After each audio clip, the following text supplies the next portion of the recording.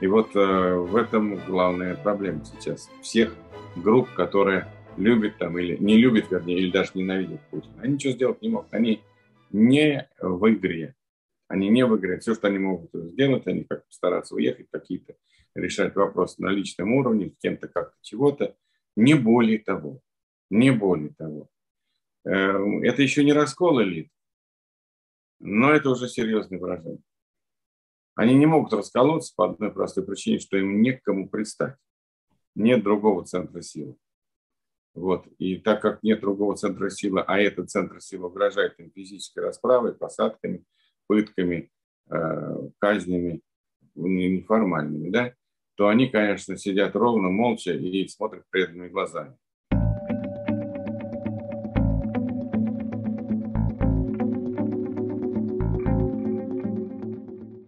Друзья, вы смотрите и слушаете Рашкин Репорт. У микрофона Юрий Рашкин. И я очень рад, потому что к нам возвращается Геннадий Гудков. Геннадий всегда кладезь информации. Геннадий, добро пожаловать, рад вас видеть. Да, я всех приветствую, Юрий, вас в первую очередь. Насчет кладези информации, конечно, сомневаюсь. Единственное, чем я могу сказать, что я все-таки высказываю свою точку зрения, уж не знаю, насколько она попадает в ожидание. Вот. Но в любом случае спасибо за комплимент. Будем надеяться, что наша передача не зря. Будем уверен, уверен.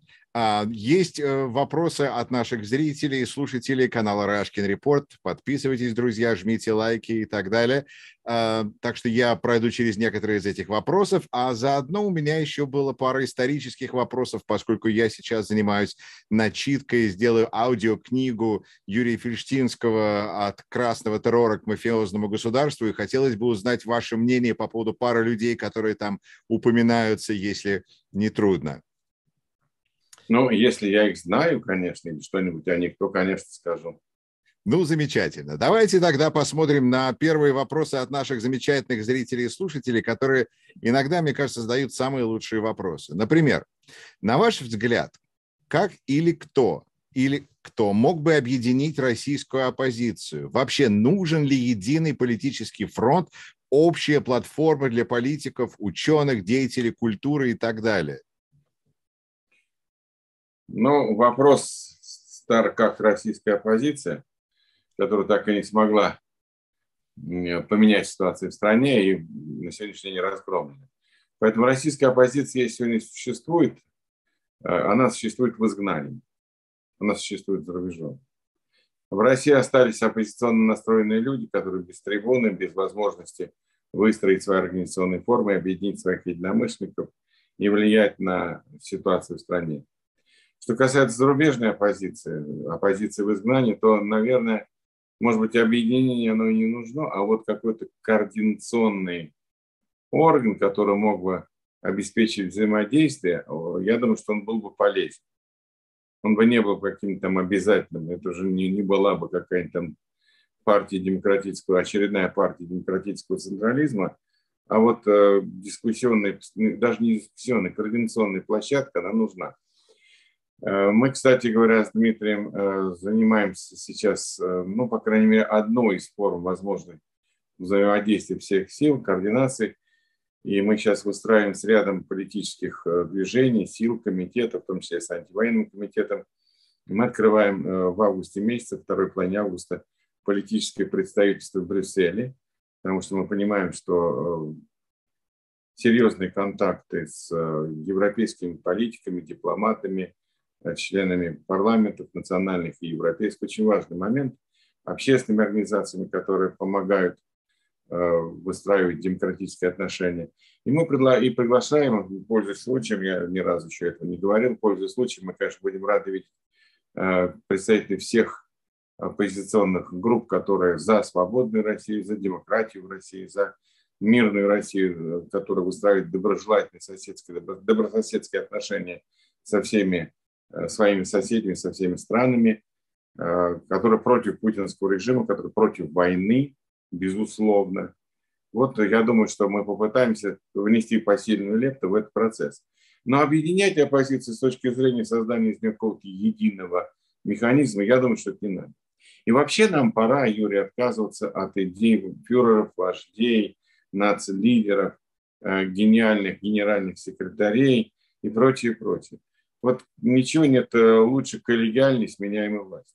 Вот нет ничего лучше.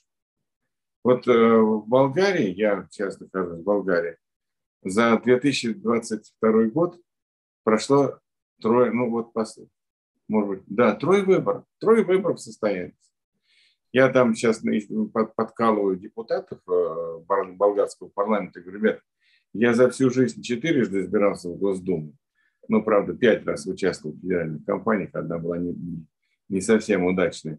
Я говорю, четыре раза меня за там много лет избирали в Госдуму, а вы какие молодцы, вас за один год три раза избрали в парламент. Вообще круто. Вот. Но они, конечно, смеются. Я говорю, ну, они говорят, да, у нас вот все нестабильно, вот у нас это самое, только выстраиваются отношения, мы там учимся. Я говорю, ребят, лучше ваша нестабильность, чем наша кладбищенская вот спокойствие, безмятежность. У нас же как на кладбище. Все лежат тихонько под могильными плитами и никаких шевелений. Нам говорят, да, мы все понимаем, не хотим такой судьбы в своей стране. Уж мы готовы терпеть эти выборы, готовы терпеть эти коалиции, договоренности, подставы иногда и так далее. У них же очередное, так сказать, там правительство ушло в отставку. Э, но это говорит только о том, что ни один министр теперь не будет чувствовать себя бронзой, как и премьер-министр, и как и президент, кстати говоря. То есть у них э, эпоха э, бронзовения, она позади. Они уже понимают, что министры, премьер-министры приходят на какой-то срок и потом совершенно точно уходят. И это дает мощнейший стимул развитию общества, устанавливаю э, приход во власти новых людей, интересных, ярких, которые способны к созидательной деятельности. То есть это, в общем вполне нормальные явления. Они говорят, лучше вот так, чем как у вас. И я абсолютно с ними согласен, потому что лучше так нестабильно, как у них, но принципы сохраняются, чем так стабильно, как у нас, когда никаких принципов, кроме совершенно варварского, совершенно такого э, желания постоянно править, такого такой неистовой жажды личной власти, и который там оборачивается бедами, кровью, нищетой, разорением страны и людей, чем вот э, это намного хуже и намного опаснее. Но разговориться, да, давайте ближе к телу, как говорит Гиди Мапасан в российской распространенной шутке. Хотя, по-моему, Мапасан так не говорит. Будем искать. Зрители, слушайте, проверяйте Мапасана, шлите нам цитаты. А, у нас замечательная публика. А, но вопрос этот поступил от человека, который продолжает смело, я бы сказал, находиться в России. И я, ну, как-то если в России появляется человек, который каким-то образом фокусирует на себе внимание, то он тут же становится целью и мишенью для власти, и от этого человека как бы на него направляются все усилия, от этого от одного человека всегда можно так сказать, его посадить, ее посадить.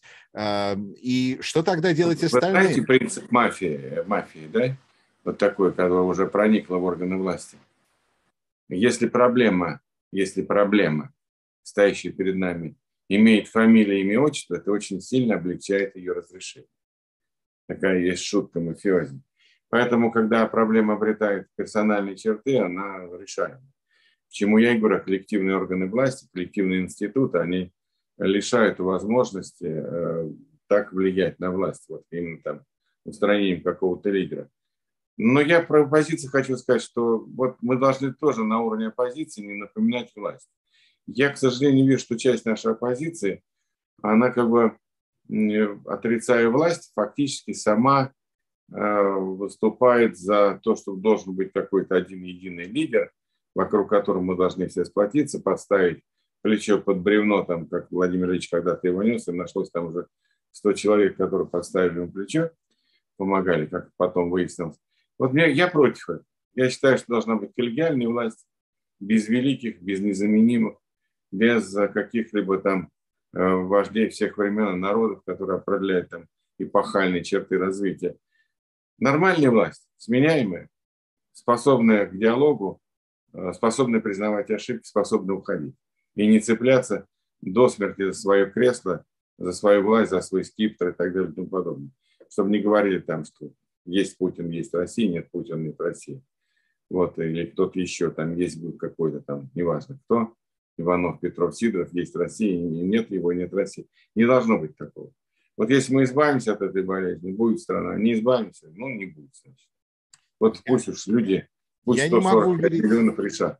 А? Я не могу себе представить, как можно, как эти перемены могут произойти изнутри на данный момент, кроме как после смерти или отставки или устранения Путина. Ну, конечно, нет. Ну, это понятно, что мы говорим сейчас о России после Путина. Россия при Путине – это страна, обреченная на э, страшные испытания. И чем дольше вот этот товарищ сидит в Кремле, тем страшнее будет конец путинизма. Вот прекрасно понимаю, что каждый день, проведенный в Кремле, добавляет трагизма к финалу, к которому неизбежно придет этот прогнивший э, режим, развязавший сейчас самую кровавую войну в Европе за последние 80 лет.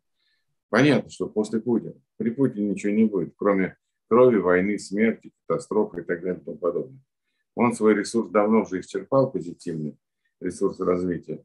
Вовремя не ушел. Уйди он в восьмом году, ну, наверное, был бы любимым президентом, был бы везде рукопожатен, принят, был бы таким духовным каким-то там или там, неважно, моральным авторитетом. Ну, не жил бы, может быть, даже во дворце, был бы, купался бы, так сказать, э, Э, как сыр маслый катался, да? Но не захотел человек. И теперь он войдет в историю э, позорным грязным пятном, разрушителем, кровавым диктатором. Ну, вот, вот я просто хочу сказать, это же надо так прожить жизнь, чтобы миллиарды людей на планете желали ждали твоей смерти. Вот, вот это же как кошмар. Это вот, это вот э, тот финал, которого врагу, как говорится, не пожелаешь. Вы же прекрасно понимаете, что Э, вот мы все смертны, мы все умрем. Но чтобы от твоей смерти ждали миллиарды и радовались бы этому, ну, это вот надо вот совершить столько грязных, отвратительных дел, да, это еще, как говорится, антиталант надо иметь. Ну и при этом он еще старается и ухудшает это каждый день. Но это как... не финиш. Это как вы считаете? Да, он еще не закончил, к сожалению. Как вы считаете, он, как сказать, я, я задаю такой вопрос, но я понимаю, что вы не живете у него в голове, но тем не менее, эм, он э, не уходит от власти сейчас, потому что боится отойти от этой власти, как держать там волка за уши или тигра за уши, или он считает, что у него все супер, он выигрывает, и просто нужно продолжать сжать дальше на, на газ? Главное, это, конечно, страх за содеянное страх, что с ним расправиться, разберутся. Он не видит э, свое будущее без власти в России. Он ее никому не отдаст до смерти или до состояния, когда она уже будет непригодна к исполнению каких-либо обязанностей. Никаких операций преемников, преемников этого нужно выкинуть из головы и забыть. Это все для э, публики скармливания, э, для каких-то там политологов, которые что-то должны сказать. Ничего не будет, никаких преемников. Я только преемник может быть в случае, там, сын при смерти, вот, из гроба, так сказать, там что-то подпишет, может быть. А, и, и то я не уверен. Вот, поэтому совершенно понятно, что это человек, который одержим этой властью и уже без нее не может. Это как вот э, человек, живущий на аппарате, предположим, искусственной почки, почки там каком другом аппарате, если его отключить, он умрет. Вот Путин напоминает такого больного, который вот без этого включенного аппарата власти он уже жить не может. И это единственное, что у меня осталось. У него же, посмотрите, ну давайте вот честно посмотрим. Человек без чувств, без нравственности, без совести, без чувства стыда, без сострадания к людям, без любви к ближним, без доверия, без э, какого-то вот такого, без неоткровенной абсолютно, да. То есть это вот какой-то уже не человек, а какое-то уже существо, у которой только один инстинкт власти. Подождите, вы, вы сейчас описываете не... Путина или российское общество? Я описываю Путина. Я описываю Путина. А российское общество, естественно, выстраивается и подстраивается. У нас же как? У нас же все подстраиваются, встраиваются в систему. И то, что сегодня с российским обществом творится, с его нравами, ну, это просто кошмар, это же полное разложение. Это же полное нравственное разложение. Ну как вот можно там, когда там берем это, и берут интервью журналисты, и там люди говорят, да, украинцы, да это не люди, их надо всех там уничтожить, они что там, а мы там за это. Я так вот, там ведь не, не могут же не понимать, что там 45 миллионов численность населения Украины. Всего лишь в три раза меньше, чем в России. И вот такие вещи, когда говорят люди, которые сами-то нежели хорошо, как говорится, и при, уже не будут привыкать к этому, которые затюканы, затырканы, замучены жизнью. Когда мы видим в их глазах совершенно откровенную искреннюю ненависть к соседям, готовность их уничтожать, убивать их детей, конечно, это все идет от Путина, конечно, это все идет от безжалости, от безжалостного режима, от лишенного всяких человеческих чувств. Каков поп, таков приход. Это не я придумал, пословица. Поэтому тут и Путин описывая, описывая Путина, описываешь в общем в целом тенденции, тренды, которые заданы в российском обществе, они э, множатся, тиражируются в миллионах экземпляров. Вот, вот я тоже это и слышу, что с одной стороны это Путин, а с другой стороны то, что мы сейчас видим и слышим в российском обществе, очень напоминает, они друг друга как-то стоят сейчас. Ну, а, можно да. сказать, что часть населения сейчас э, полностью лишена разума. Я вообще считаю, что должны изучать феномен эксперты, врачи, психиатры, психологи. Серьез, я, я не шучу, я не ерничаю. Я сейчас вот абсолютно без тени юмора всякого говорю. Потому что то, что происходит с сознанием людей, когда оно перестает быть разумом, когда оно становится сконцентрированным выражением человека ненавистничества, я не знаю, что происходит с людьми. Это надо изучать потому что этого нельзя допускать. Мы же видим, что часть населения полностью готова уничтожению себе подобных, да и себя самих тоже они очень не жалеют.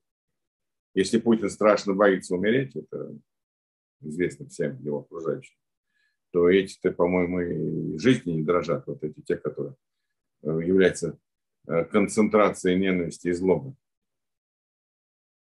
То есть, может быть, одна разница все-таки между Путиным и российским обществом – это то, что он боится умереть, а они вроде бы сейчас даже это их, ну, по крайней мере, публично не волнует. Вы знаете, а, я прочел в Фейсбуке сегодня, выражу, так сказать, а, кто-то там поражался тому, как кто-то с ними говорил, но смысл был такой, что человек из России говорил, слушай, нужно уничтожить всех украинцев, иначе они будут мстить. И я как-то вот уже сам подумал об этом, мне это напомнило слегка, наверное, то, что я читал освобождении рабов из, э, в Америке, в Соединенных Штатах, о том, что у этих они такие обозленные, а освободишь, они будут нападать, так и мстить обратно. Вот, и э, я чувствую в этом страх. Э, страх правосудия, страх того, что за все эти грехи это может вернуться обратно. А это так ужасно, что лучше их уничтожить всех. Это, это, как вы это рассматриваете? Как э, в форме социального сумасшествия массы. Вот я, не, я не могу к этому иначе, как относиться как к какой-то аномалии человеческого сознания. Это же, это же какая-то уже психиатрия. Да, это но массовая. Психиатрия. Да, массовая психиатрия, причем с особо агрессивным и кровавым оттенком. Но то я говорю, это серьезнейший феномен, социальный, медицинский, который надо изучать и что-то придумывать. Потому что, видимо, мы совсем не знаем законов популяции. Вот я для себя это вывел, такую формулировку. Нет, ну вот на самом деле мы не понимаем, может быть, уже порода испорчена. Я вот всегда говорю, вот мы там спорим, они говорят, ну ты уже начинаешь как расист обсуждать. Я говорю, да нет. Вот у нас же всю жизнь собаки. Я всю жизнь прожил с детства с собаками. Ну, они всегда были в доме, у нас.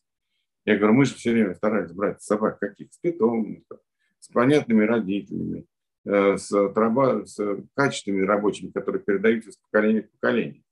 То есть мы брали уже щенков, которые ну, уже наделены определенным генетическим набором, генетически наделены набором качеств, которые пригодны для там, дрессуры, там, чего-то еще. А почему мы считаем, что люди не могут вернее, что люди э, не такие. Ну, мы же тоже э, разумные животные. И если мы вытравливаем в каких-то поколениях качества, там, добродетель, совесть, честность, храбрость, человеческое достоинство. Делаем это веками, топчем эти качества, вытравливаем каленым железом, выжигаем там, публичными казнями, расстрелом и так далее. Почему вы считаете, что мы в итоге не получаем сброд вот этот вот, который этих качеств как раз лишен или наделен в минимальной степени? То есть есть, наверное, какие-то законы популяции, которые там популяция, грубо говоря, там 3% должны быть безудержно храбрых, там, 7% социально активных и наделенных там какими-то лидерскими качествами. Ну, я условно говорю, там 10% там очень осторожных, даже трусливых. Там, э, тех, которые готовы, там 20%, которые готовы все поддерживать. 20%, которые готовы во всем сомневаться и так далее. Какие-то и наверняка есть неизученные нами законы популяции и законы социума. Но мы же тоже понимаем, что немцы были, находились под, в состоянии типа, как говорят, гипноза да, в 30-е годы или там даже 40-е. И вот что-то происходит сейчас с российской нацией. И там я сейчас не говорю русские, не русские, какие там русские. Там и русские, там и украинцы, там и белорусы, там и татары, там и кого только нет в России. Проживает хреново туча народов, а народ-то один получается. Народности много, а народ один. И вот э, мы сейчас видим тяжелейшую форму психиатрического, психологического, я не знаю, какого еще там, заболевания, массового заболевания людей. Это же серьезно. И, видимо, какие-то нарушены законы популяции. Наверное, нельзя безнаказанно поколениями втаптывать людей в грязь, э, заставлять их быть рабами, заставлять их, э, значит, там, расстреливать, там, измываться, переселять, не знаю, что делать, уничтожать десятки миллионов. А потом говорят, а где же наш народ, а где же вот его благородство, а где же вот его добродетель и так далее. Оказывается, все вытравили, все уничтожили. Ребят, ну как, если вы сейчас начнете, э, вот у нас же этот э, замечательный Булгаков, откуда у нас этот Шариков взялся? Он взялся из дворового пса. Ну, если вы хотите одних дворняжек оставить. Ну, а тогда что вы от них ждете-то? От Шариков? Чего от Шариков-то можете ждать? Вот и получите то, что, так сказать, вывели генетически. Нет, я знаю, что на меня там сейчас э, э, критика попольется, я, я это понимаю, я уже говорил об этом. Мне как-то один сказал ученый, уж не знаю, э, насколько он серьез, но он мне говорил всерьез, что вот при э, таком тотальном гнете многолетнем, много, многодесятилетнем или столетнем, якобы там даже какие-то э, структуры в РНК меняются. Якобы. Но я опять-таки, я же не биолог, я не специалист, я не врач, не психолог. Э, я не могу, так сказать, там спорить. Но вот я просто такую информацию от него слышал, что якобы для того, чтобы они восстановились, а они имеют якобы способность Э, извиняюсь за это слово якобы, к восстановлению требуется там чуть ли не два поколения. Так это, не так, не знаю, но я уверен, что мы нарушили. Наша нация неоднократно нарушила законы популяции грубейшим образом. И вот получили то, что получили. Ну, тут много есть что сказать. Во-первых, есть коммуникационная теория после э, нацистской Германии э, появилась, называется спираль тишины, когда э, говорится о том, что большинство людей, возможно, не считают так, как считают самые громкие но они считают, что, видимо, раз громкие так говорят, значит, так оно и есть, и они молчат, и это как бы спираль только набирается. Таким образом, можно потом будет сказать, что большинство людей не поддерживало путинизм, только самые буйные, самые громкие, которые как бы создавали всю эту, так сказать, температуру. А с другой стороны, ну и что с таким? Это, это говорит о том, что не только страна Россия потеряла право на существование, но и что и, и, и люди, которые там живут. Я думал, что их можно, по крайней мере, мере, вывести оттуда, может быть, как-то со временем. Опять же, и было э, такой эм, стадии изучения а, а, в Швеции, а, когда выяснилось, что люди, которые пережили голод, потому что проверяли книги, переписи церковные, что их внуки жили дольше. То есть какое-то изменение РНК происходит поколенческое, тут что-то происходит. Я уже не говорю о том, что в России был, так сказать, натуральный, ненатуральный отбор на самых плохих и худших. Это даже сегодня продолжается, когда самые лучшие покидают страну, когда их сажают. Так что кому остается эта страна? Ну вот она и остается тем, кто, кто, кто выжил. А выживали, ну, вот я все время говорю, Почему вот Америка, допустим, свободная страна? А кто туда поехал? Самые предприимчивые, самые безбашенные, самые отчаянные. Да, жилка авантюризма, да, но с человеческим достоинством, с готовностью, желанием их свое человеческое достоинство защищать, не, не боящиеся трудностей и так далее. Поэтому у них, как бы так сказать, вот такой естественный отбор произошел, видовой, да, внутривидовой, на этих людей. Им, когда они приехали, они уже приехали с геном свободы. Да, мы знаем все про Америку, или, по крайней мере, многое. Там было и рабство установлено, но где его не было. Вот. А ну, что только, в России, в России они порабощ... только в России они порабощали себе подобных, даже в Соединенных да, Штатах. Не просто Рабство было против нет, другого нет, цвета кожи. И, еще хуже. Они уничтожали свободных, или, или говорящих о свободе, умных, с человеческим достоинством, физически уничтожали. Гнобили, сажали, четвертовали, рубили голову, отправляли на Кавказ воевать и так далее и тому подобное. Вот все, что дышало, э, все, что пропитывалось человеческим достоинством, выражало человеческое достоинство, какую-то самостоятельную точку зрения, мысль, э, свободу, так сказать, и так далее, все это уничтожалось. Но вспомните, что сделали с поколением декабристов. Это же были молодые ребята, которые увидели, как живет Европа после 2012 года, заразились этими идеями развития, прогресса, демократии, какой-то определенной. И они всего-навсего хотели конституцию с правами и с понятными правилами игры. Они же принадлежали к правящему классу.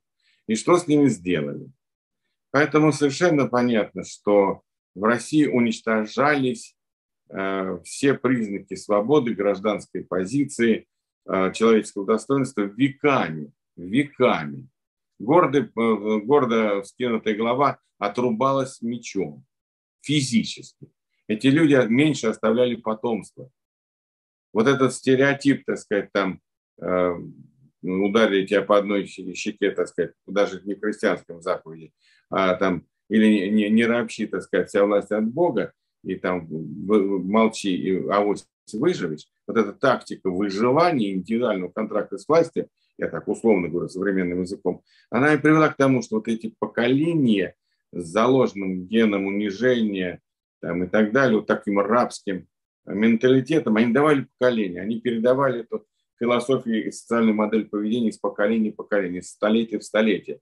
Ну и почему у нас самое жестокое крепостное право? Почему у нас самое долгое крепостное право, которое ничем не отличалось многие столетия вообще от рабства? Крепостное право. Продавали крепостных, там можно было купить там э, детей, можно было купить жену отдельно от мужа, мужа отдельно от жены. Что хочешь делай, да? И это потом там только, когда там, э, кто уж не помню, э, то ли Екатерина, то ли кто-то еще не помнит, когда до нее довели там слезы чьи-то, там она сказала, нет, запрещаю продавать крестьян без земли, без деревень, без территории. Это, это да, вот только начали, как бы, так сказать, по-другому торговать крестьянами. А так, как скот, как ну, скотный рынок самый настоящий. И вот я думаю, что все это отразилось. И тут еще плюс сталинский геноцид. Вот это все большевистские эксперименты кровавые а там вообще все выжигалось. Все эти философские пароходы, которые э, отправлялись из России пачками, не только один пароход.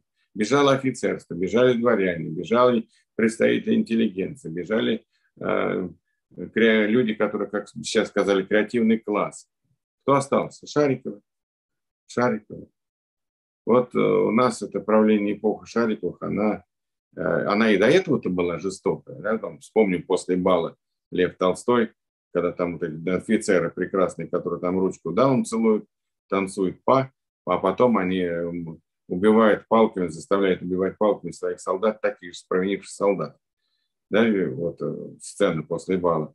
Поэтому мы же видим, что и та власть была жестокая, а та, которая пришла как отрицание предыдущей власти, была просто кровавой и зверской.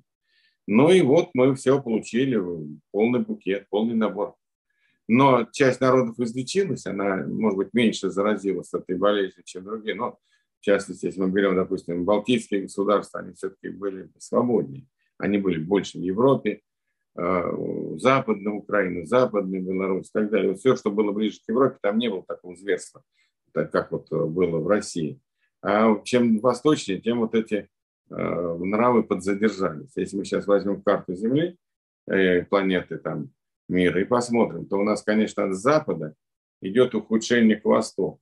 большом счете. Если мы возьмем сейчас перечень диктаторских, авторитарных прочих режимов, это будет вот как раз с запада на восток или там с севера на юг. Прямо вот по географически, так сказать, можно это проследить. Опять разговорился, но это проблема, которую нам нужно будет решать, и нужно будет титанические усилия по излечению этих людей. Вот просто по спасению этих людей, по спасению мозгов и сознания этих людей. И я не уверен, что э, со всеми этот фокус может пройти излечение. Далеко не уверен. Ну, вспомните даже немцев, потому что умные, грамотные, образованные нации, которые допустил Гитлер, их там долечили до перелома сознания, по-моему, в 1952 году он произошел. Ну, по крайней мере, то, что я читал, утверждает, что до 1952 года там чуть ли не 40% считали Гитлера, в общем-то, неплохим руководителем страны. И только после 1952 года, после вот этой активной программы денацификации, реально, произошло, произошло изменение общественного сознания. Что-то, видимо, придется делать с Россией. Похоже. Ну, что можно сказать? Я думаю, что, во-первых, вы правы. А во-вторых, я думаю, что, наверное, произойдет то, что некоторые люди, когда ситуация улучшится, они постепенно придут в себя, особенно молодые, особенно молодежь, а в Германии, насколько я понимаю из разговоров а, с людьми, которые тоже изучали эту денацификацию, как, например, Ольга Романова, а, пожилое поколение, оно просто молчало, и оно не говорило вот те вещи, оно понимало, что это теперь тренд изменился, и они замолчали. Хотя бы вот этот переход нужен. Но я согласен, это будет после Путина. А на данный момент у меня вот такой вопрос. А, человек, которого я уж, я знаю, что вот просто вот это один из людей, который вот скажешь имя, и сразу публика так делится напополам, как минимум. Марина Овсяйникова. Так вот, ее, вот человек, который вышел с плакатом на телевидении, ее вот на, наконец, ее арестовали, ее забрали вот сегодня, вчера, а, я не понимаю, я, я ее безмерно уважаю. Уж простите меня, дорогие зрители и слушатели, но я ее очень уважаю за этот шаг, потому что это противостояние на гражданском уровне в России. Это нужно уважать, это нужно ценить, это нужно поддерживать. А, просто как факт, чтобы другие это то же самое делали. А с другой стороны, человек, которого я тоже уважаю, которого вы знаете, Эльвира Вихарева, ей удалось зарегистрироваться как кандидат на там каких-то следующих выборах. То есть что происходит с этой системой? Я как-то потерялся. То ли, она, то ли они допускают людей, то ли они арестуют людей. Это, и это, главный тут вопрос такой. Есть ли кто-то в этой системе, в этой стране под названием Российская Федерация, кто находится в безопасности? Есть ли какой-то способ себя обезопасить? Нужно ли носить везде эту ЗИ на груди, и тогда ты в безопасности? Как вот где-то домик, где я в домике, чик-чирик, что делать? Ни, ни одного человека в России, включая Путина, я бы не сказал, что он находится... Э, ни одного человека в безопасности нет. Я бы не сказал, не, сказал, не дал бы гарантии ни одному. Это не означает, что, конечно, все попадут под раздачу. Многие попадут. Многие не понимают и не догадываются. Ну, вспомните там какого-нибудь Шлегеля вытащили на носилках из Совета Федерации в тюрьму, э, посадили э, или там, вернее, объявили преступником Мао, да, который там ректор э, Академии народных хозяйств, да? Вот. Полкер и когда и так далее, свои да, да. губернаторы, мэры там пачками сажают. Э, нет ни одного человека в безопасности, ты можешь стать жертвой случайных обстоятельств. Случайно.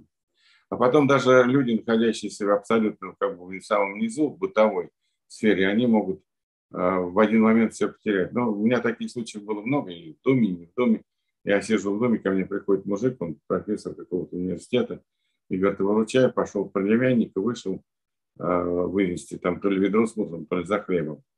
Его там э, задержали, он там чего-то неосторожно сказал, его избили, сделали инвалидом, теперь еще хотят ему уголовное дело вклеить. Он говорит, ну, я его попросил, сходи, возьми там батон хлеба, приди там. И вот все это произошло на моих глазах за 15 минут. Или я там э, занимался одним случаем, когда молодой парень, э, проходя мимо, был задержан за убийство, ему все впаяли, его избивали там и заставили признать, что он совершал убийство, он вообще даже не знает про кого, про что, про где и так далее.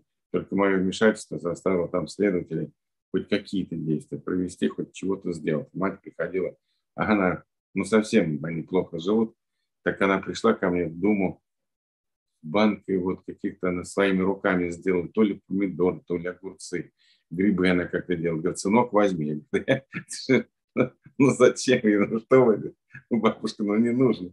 Но я тебе так благодарна. Мне никто вот не хотел помочь. У меня сын пропадает, ему вообще-то сказали, что дадут 20 лет. Ну, неважно. Важно, что любой человек, вот, который вообще ни в чем, он может, проходя мимо, стать э, жертвой этого режима, это, это случайное стечение обстоятельств. Я уж не говорю там про тех людей, которые занимают должности, что-то делать, вынуждены какие-то совершать действия.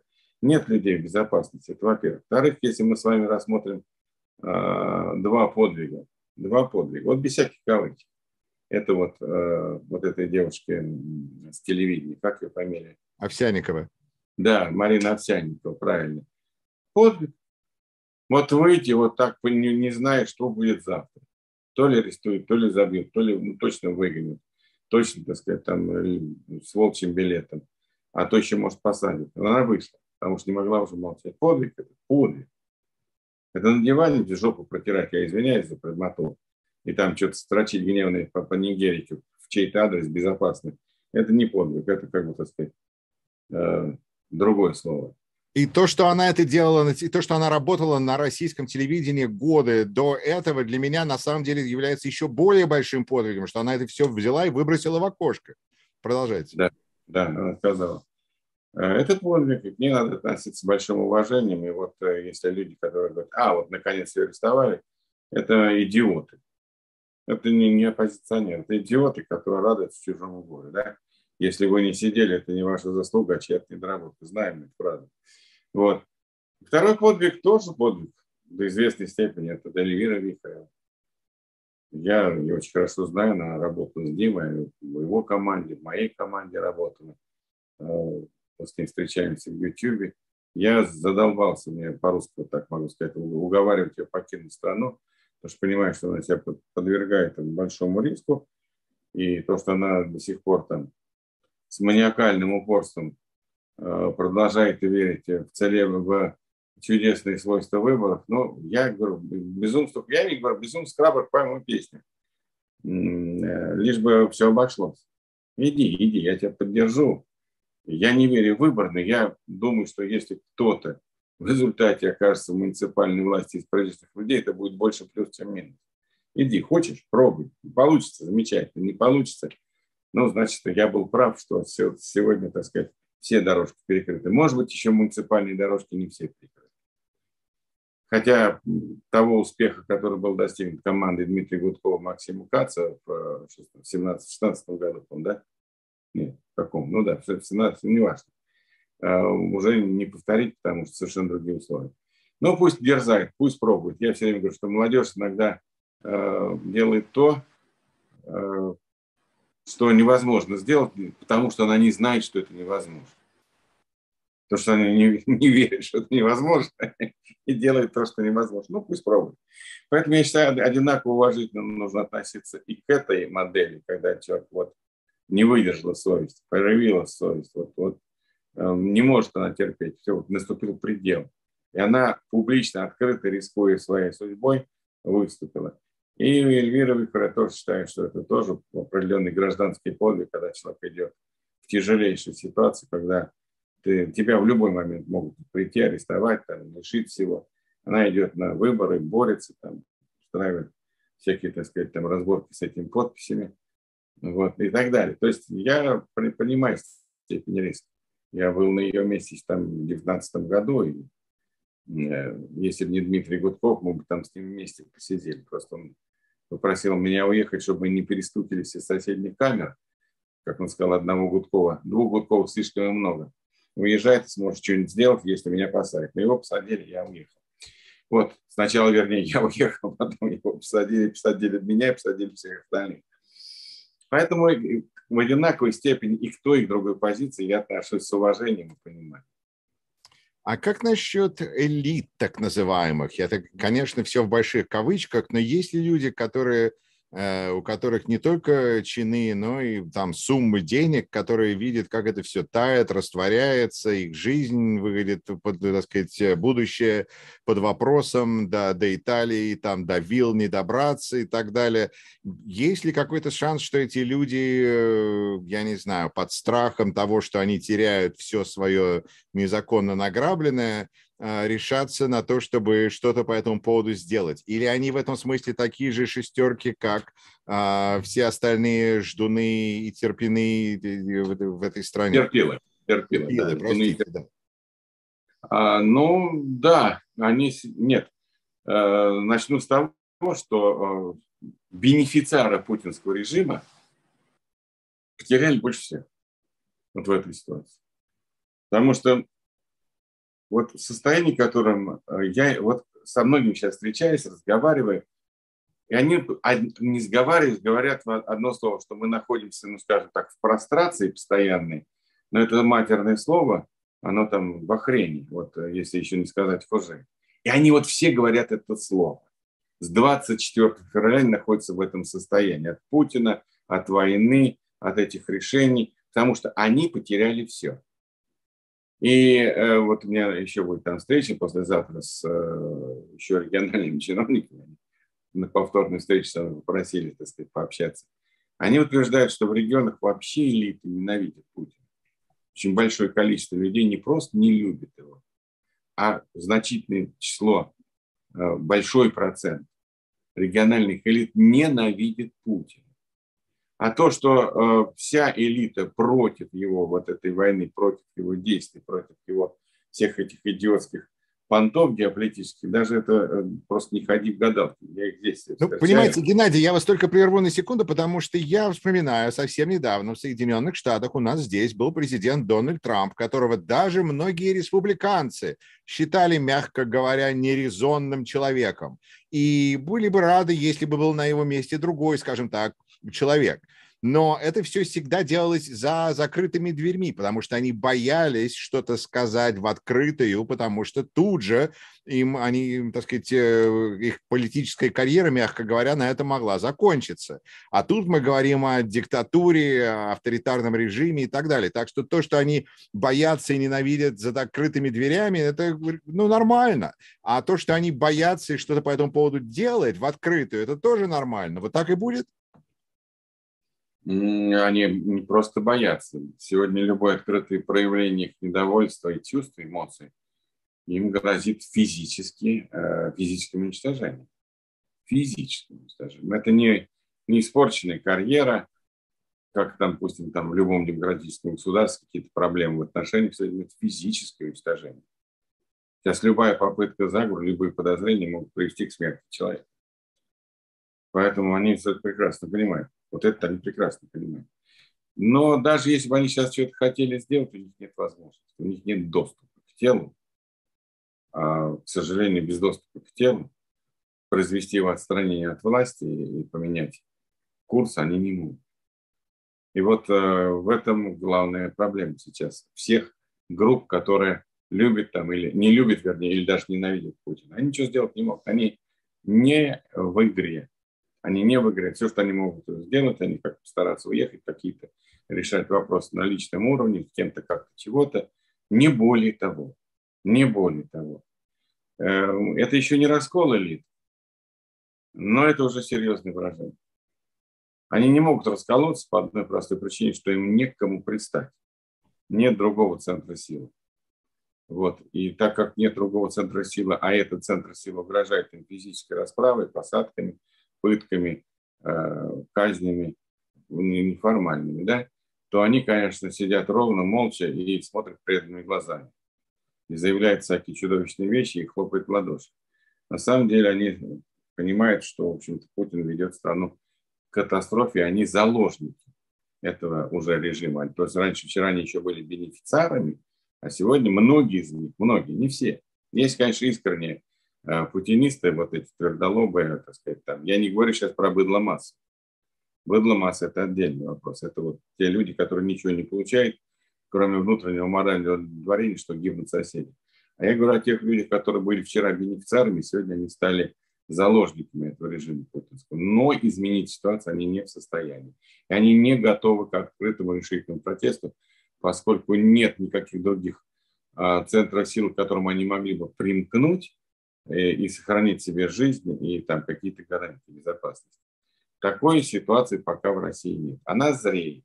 Возможно, появится. Это будет, может быть, с ослаблением Путина, с его публичным конфликтом с генералами, когда будет разбор полетов, кто же виноват в этой войне, кто довел страну до поражения, до позора, до э, гибели и так далее и тому подобное. Но это будет впереди, не сейчас. Вот сейчас такая ситуация, по крайней мере, то, что я понимаю, вижу, чувствую, я вовсе там не истинно в последней инстанции, мое мнение может быть и ошибочным, но вот я полагаю, что вот такая примерно ситуация. По крайней мере, из моего общения с теми, кто из России уехал на совсем или не на совсем, или вовсе даже не уехал, а просто, так сказать, э, временно отсиживается за пределами России, вот ощущения такие. Ну и с теми, с кем я общаюсь, кто еще остался в России. Хорошо, Геннадий, такой пара технических вопросов. А, нам пишут, я живу в Воркуте, тут появилась активность военных, как пару лет уже. С чем это связано? Что находится у нас в Воркуте? И идут ли тайные ядерные испытания у нас или на острове Новая Земля? Поговаривают о строительстве у нас нового лагеря. Вот, что вы, вы что-нибудь знаете по этому поводу? Про военную активность точно ничего не знаю. Э, про ядерное оружие маловероятно, что там что-то будут какие-то испытания. Все-таки это уже будет э, переход даже не красных линий, а у каких-то там инфракрасных а, запредельных. Вот. А что касается про лагерей, то да, что ж, в Куталах, мы же знаем, целое управление там сидело. Сказал что там из министров нынешних, что не хватает 180 тысяч рабочих рук зэков чтобы какие-то там вопросы решить в строительной индустрии. Э, сейчас другого выхода у Путина нет, кроме как э, массовой репрессии и создания института рабовладения над, над определенной частью населения, которые будут там что-то делать. Хотя, мне кажется, даже они это не смогут организовать. У них просто времени, мне кажется, не хватит. Но вообще желание-то у них есть. Желание массовых репрессий у них есть, и они потихонечку, потихонечку подготовили. Вот сейчас страна вообще стоит на пороге уже серьезных массовых репрессий, когда там будут не сотни и не отдельные тысячи, а десятки, и, может быть, уже сотни тысяч репрессированных. А система будет объективно а, доказывать, что без нее Путин власть не сохранит, я имею в виду репрессивную машину. И она будет искать врагов народа в каждом втором, если не в каждом первом. Ну и, наверное, тогда из этих людей можно как бы использовать их э, для того, чтобы в армию тогда их направить туда, в Украину, правильно? Дать им оружие, чтобы они сбежали, получили компенсацию за оружие, или направили его в другую сторону. Мысль прекрасная. Пусть делает. Пусть делает. Окей, okay, посмотрим, как этот план сработает. Да, а, хорошо. Другой, э, другой вопрос. Многие эксперты говорят, что, мол, Европа не мыслит себя без России и хочет договориться. Вопрос, а что такого есть в России, без чего Европа не может жить? Я не знаю, как вы считаете, э, вы видите какой-то интерес в Европе э, договориться, найти какой-то способ взаимосуществования с путинской Россией? Но э, мы не будем же уподобляться Володину с его этой замечательной фразой «Есть Путин, есть Россия, нет Путина, нет России». Да? Вот, поэтому, если мы говорим о путинской России, то все переговоры и выстраивание отношений закончены. Никакого смысла. Не... Даже Такаев размазал Путина так, так, так как говорится, э, как никто никогда его не унижал. Для этого Такаев не поленился приехать в Питер – и глядя ему в глаза сказать, что ты вообще никто, ты лузер, проиграл, мы с тобой никаких отношений устраивать не будем, потому что э, мы не устраиваем отношения с людьми, которые обречены на поражение, ну, грубо говоря. Поэтому никто, конечно, в Европе и с путинской Россией уже делать ничего не будет, кроме, так сказать, э, решать вопрос на полях сражений в Украине и э, через санкции сделать так, чтобы путинский режим исчез, как страшный сон из истории человечества.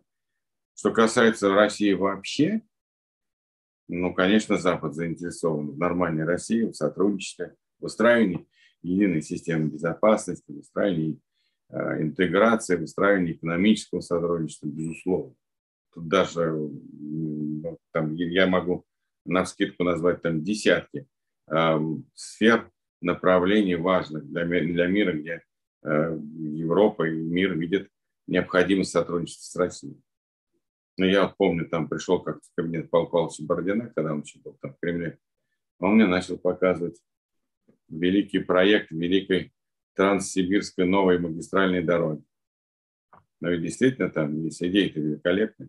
Я, правда, там не могу оценить экономическую там и так далее, но в целом я думаю, что очень многие вопросы без России решать сложнее, чем, чем решать вместе с ней. Поэтому я думаю, что мир, безусловно, заинтересован в нормальной, свободной, э, цивилизованной стране Россия и в сотрудничестве. Россия страна все равно великая, я имею в виду с точки зрения э, ну, ее вклада в цивилизацию. Только если мы посмотрим, там и, и наука, и искусство, и образование, и живопись, и много чего другое, и градостроение, и много-много то, что дала Россия миру. Э, она, может быть, не дала так много, как дали э, ведущие европейские державы, но она все-таки э, та страна, которая весомый вклад внесла в современную цивилизацию. Но такого нет там у других, у, у, у многих других стран, если мы там посмотрим, многие страны, которые там нет, ну я думаю, что на данный момент, если бы Путина не было, то другие европейские страны не захотели бы русскую литературу, они бы захотели русскую нефть, и газ и так далее. Все захотели и литературу, и газ, и нефть, и балет, и науку. И Надо только от Путина избавиться вначале. Конечно, конечно. Проблема не в России, а проблема в режиме. Чему я и говорю. Вот я здесь за рубежом призываю иностранцев отличать Россию от, путинской, от путинского режима. Россия – это страна, с которой можно устраивать долгосрочные отношения, а режим – это тот режим, который враг всех этих отношений. И он Если быть... там одни Шариковы остались, то как с ними налаживать отношения? Ну, извините за цинизм. Шариковым скажут, что все поменялось, и они побегут в другую сторону. А, поэтому постепенно, постепенно нужно будет этих Шариковых превращать там, в каких-то нормальных, с нормальными фамилиями людей менять мозги. Все равно придется. Я же сказал, что тяжелая работа. Это что-то похожее на денацификацию, как мы уже вернулись к первому вопросу. Но это придется делать. И это можно сделать. А, ведь огромное число миллионов россиян уехало за рубеж. Это люди, которые интегрировались в цивилизацию, они способны а, дать стране вот этот импульс, вернуться, построить, отстроить, сменить мозги, сменить представления, сменить ценности и так далее. Не все так безнадежно, хотя, конечно, ситуация непростая, безусловно. Хорошо, тогда пару исторических вопросов, а, пару имен, которые мне очень интересны, если вы а, что-то о них знаете. Первый из них это просто, ну как, Евгений Петовранов – Евгений Петовранов был э, главой советской разведки э, э, сталини... сталинских времен, а потом он был главой торговой палаты и, в общем-то, очень значимая фигура. Это какой период? Какие годы? А, Евгений Петовранов, сейчас а, я вам скажу точно. Не а, понимаю просто. Я его не знаю. Нет? Окей, хорошо. Нет, не знаю, но если вы скажете период, я могу понимать, о чем идет речь. Хорошо, я вот сейчас смотрю тогда. Евгений Петрович Питовранов а, родился 20 марта 15 года, умер 30 ноября 99 года. Руководитель советской разведки и контрразведки, генерал-лейтенант, государственный деятель, председатель Президиума торгово-промышленной палаты СССР. То есть мы как бы здесь говорим все-таки про, ну, скажем так, 60-е, 70-е, 80-е, время Андропова, хотя он был, естественно, после него также. Ну, значит, было дитя своего времени. Это послевоенное подавление в Берлине, в Будапеште, в Праге, решение многих вопросов. Но там наверняка в нем намешано все, в этом человеке. Хорошо. Um, и Филипп Бабков. Я не знаю, если это тоже, опять ну, же... А, нет, ну, Филипп Бабков личность известна в КГБ СССР. Я с ним близко-то не работал, не общался, но один из моих товарищей был его протеже, э, генерал-лейтенант, потом стал генерал-лейтенантом, в конечном итоге генерал, даже чуть не полковником. Но на нем как о человеке отзывался как о профессионале неплохо. Филипп Денисович был большой мастер оперативных всяких этих игр, разработок. Он, безусловно, был дитя сталинской, э, брежневской эпохи, безусловно. И поэтому, конечно, все эти э, гонения, интриги, они шли от него. Он возглавлял пятое управление, и там пощады-то не было никому, но все равно даже тогда режим не был таким кровавым, жестоким, бессовестным. Я просто помню, э, я вообще работал по второй линии в контрразведке, в контрразведке, потом Московской заканчивал свою службу. А как я попал на стажировку в пятую службу, как раз в ту, который курил в целом Филипп Денисович Бабков. И я помню, вот чем отличался тогда и сейчас. Там все было. Плохое там, я думаю, что многие там э, могут вспомнить. Вот у нас жив подробинок, да, который все это тоже является жертвой репрессий советских и многих других. Но все равно это был какой-то другой подход. И я читаю литерное дело. Там какой-то был диссидент в Москве, который по телефону там крыл вот этими самыми нашими словами э, всю эту власть снизу доверху, с этажа на этаж возвышаясь, и там трехэтажными и прочими словами их обзывал. Ну и там идут рапорта сотрудников, что вот он опять там по телефону всех хренами кроет, что с ним делать. Начальник пишет, значит, э, состыковаться с МГТС и отключить ему телефон. Я как сейчас вижу, помню, резолюция. Я читаю дальше. Значит, ему отключают телефон, чтобы он там этих одних, как это раньше писали, один из э, руководителей партии там стал его объектом критиком, его там Брежнев костерил там и вдоль и поперек. Ему отключают телефон, а он такой мужик несгибаемый, видимо, начал писать эти жалобы, а ему под предлогом каких-то там профилактических ремонтных работ, замена кабеля и так далее. И письмо от МГТС на московское управление, там на замначальника управления, не помню кого, там, уважаемый Иван Иванович, мы больше не можем держать, значит, у нас там 16 жалоб, мы уже больше не можем никак отписываться, мы же либо вы чего-то делаете, либо мы завтра включаем телефон, условно говоря. И он продолжил опять костерить эту всю власть, и никто его там, э, наверное, все-таки так серьезно мы не посадил. Но я не хочу сказать, что режим был, э, но, наверное, в последние годы он все-таки был более травоядным, гораздо более травоядным, чем э, то, что сейчас творит Путин. И хотя там была тоже афганская война, которая унесла миллион афганских жизней, мы все это прекрасно понимаем и помним, и 14 там, тысяч наших жизней, бессмысленной, глупой, совершенно э, война, разрушившая, так сказать, э, тишину и спокойствие в этой стране, в Афгане. Вот. Все это было, но тем не менее, если мы берем внутреннюю так называемую оппозицию, все-таки режим был несколько более травоядным, значительно более травоядным.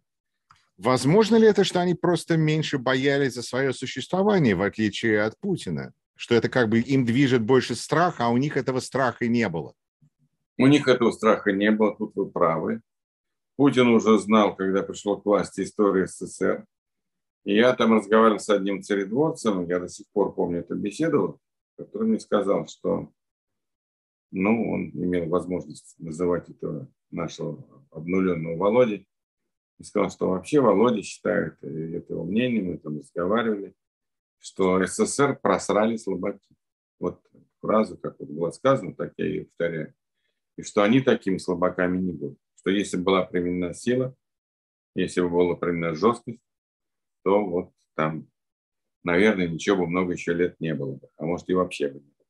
И вот я тогда еще давно это было. Это были там какие-то там седьмой, восьмой год, шестой год, не помню. И вот я эту фразу услышал, и она меня поразила, потому что я понял, что Путин э, рассматривает силу как э, способ, реальный способ, абсолютно приемлемый способ подавления людей и удержания собственной власти. Вот тогда я начинал, начинал уже э, понимать, что мы идем в очень опасном сценарии. Я, правда, помню, пришел к Суркову уже до этого или после этого, но я могу называть фамилию. Сурков тогда был все-таки в значительной степени другим, нежели он сейчас. И я ему говорю, Слава, ну вот вы сейчас вот эту вертикаль власти, вот вы там и прочее, вот вы это сделали, это сделали. Но вы же понимаете, что вам придется рано или поздно стрелять народ, я ему говорю. И он так как-то довольно-таки эмоционально встает с места, там несколько шагов делает. Почему ты о нас так хреново думаешь? что мы какие-то там эти варвары, да мы никогда в народ стрелять не будем. Мне говорит Сурков, вот так расшагивает по, по кабинету. А, я говорю, ну дай бог, знаешь что, вот мне твоя реакция, как бы сказать, немножко успокаивает, если ты действительно так думаешь, и вы все так думаете. Ну дай бог, но я вот не вижу, э, чем вы будете выдерживать власть через какое-то количество лет, вам придется применять силы, если вы не будете что-то менять в этой структуре власти. Ну, такие у нас были еще тогда разговоры, тогда все это можно было разговаривать в Кремле. А, вот. Но вот от этих э, мыслей Суркова, от этих его, так сказать, ну, не то, чтобы поклялся, но он так как-то заявил, что нет, никогда типа народная кровь пролит не будет. Но я так понимаю, что Сурков принимает решения, и давно он уже не принимает никаких решений, и они давно уже э, проливают кровь, и давно они уже готовы силой подавлять любой протест. А почему я это все рассказал, уже не помню. Просто мы начинали с травоядного Бабкова, который был, а, с травоядного был, Бабкова, был советским да. злодеем, но теперь мы уже как-то перешли на это уровень российских злодеи. Да, они действительно будут применять силы и применяют силы, в том числе будут стрелять народ. У меня никаких сомнений в этом нет. Я об этом и раньше говорил, а сейчас я просто, да не сейчас, уже много лет просто в этом просто уверен. Геннадий Гудков, большое вам спасибо за ваше время. Я все-таки считаю, что вы клались информацией. И спасибо вам за то, что вы выделились. Друзья, вы смотрите и слушаете Рашкин Репорт. У микрофона был Юрий Рашкин. До новых встреч.